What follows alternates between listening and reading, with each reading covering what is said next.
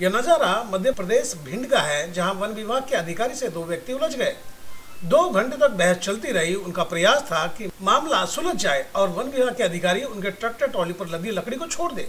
पर वन विभाग के भनक लग गई थी कि जो ट्रॉली पर लकड़ी लदी है, वह अवैध रूप से जंगल से काट कर लाई गई थी। यही वजह थी कि वन विभाग के अधिकारी और कर्मचारी लकड़ी से लदे ट्रैक्टर ट्रॉली को अपने कब्जे में ले लिए।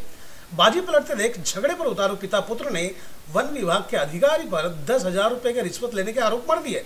पर वन विभाग के अधिकारी उनके आरोप से बिना विचलित हुए अपने कार्रवाई को अंजाम दे दिए। वन विभाग के अधिकारी मौके की नजाकत को देख नजदीकी पुलिस थाने में इस बात की इतला कर दी।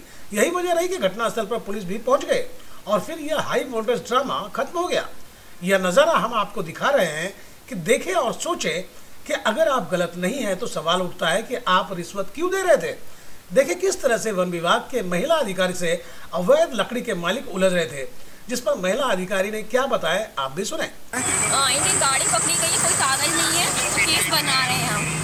बोल रहे थे पहले कि पैसे ले लो और गाड़ी छोड़ दो। मैंने कहा नहीं केस तो बनेगा। इसलिए वो तमाशा कर रहे हैं ताकि इनका केस नहीं बने। अभी आरोप भी लगाए हैं दस हज़ार रूपए लेने का और पाँच सौ रूपए की तो बिल्कुल बिल्कुल बिल्कुल ये गाड़ी मैडम आपके साथ रुकवाने अभद्रता भी की आपके साथ आपके साथ वो अभद्रता कर रहे थे। आप लोगों ने देखी ना किस तरह अभद्रता करें क्योंकि इनके केस तो, बन रहे हैं। तो आपको धमकी भी दे रहे थे? क्या क्या तो क्या? कार्रवाई करवा रही हैं लोगों के खिलाफ? बिल्कुल करूँगी मैं कार्रवाई। जी क्या पद रखती हैं पकड़ी जाती है केस बनाऊँगी मैं तो अपनी ड्यूटी कर रही हूँ ना। और ड्यूटी करने वाले को आप इस तरह से धमकाएँगे।